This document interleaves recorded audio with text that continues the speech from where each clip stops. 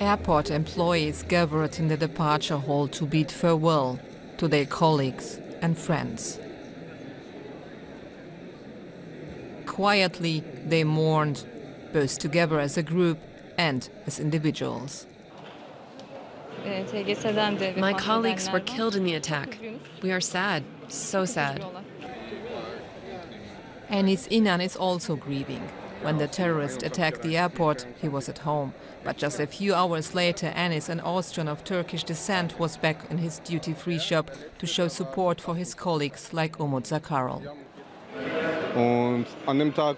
He was working downstairs that day. He was one of the heroes who pulled out his firearm and shot one of the attackers. That's why he blew himself up earlier than he'd planned. That's what people say. Enis Inan says the threat of terrorism seems to have become part of everyday life here in Turkey. But the worst feeling of all is to experience an attack right where he works. In the last 10 months, there have been 10 or so attacks. Three in the capital, four in Istanbul, one in Diyarbakir, and one in Gaziantep. You get used to it. Only this time we are the victims. Our homes are here. We live here. And for the first time, this terror has come to us. It's really hard. Cleaning crews have started to restore the airport to how it looked before the attack. Most of the damage has been repaired. It's as if they are trying to remove all traces of the tragedy that happened just a few days ago. This is where one of the attackers blew himself up while the others detonated their explosive inside of the terminal.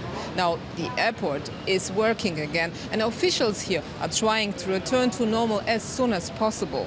But a suicide attack has left deep scars and created a deep shock in the whole country. Some of the passengers arriving on flights here are nervous. Of course, we're scared that it will happen again. But they have stepped up security. It smells terrible in the terminal. They're still repairing the damage over there. But I didn't really want to go over and look. Look, I've still got goosebumps. Everywhere you look, there are security forces. But does it really mean the airport is safer? No one has expressed these doubts out loud, but many passengers seemed tense and unsure. Next to the terminal building, taxi drivers mourned two colleagues who were killed in the attacks. Errol was a good friend. He was from the same village as me and just came here to earn money. Now he's been killed by these terrorists. It's not only the taxi drivers who are nervous about the future and what will happen if tourists and business people start avoiding Turkey. What will it mean for the country?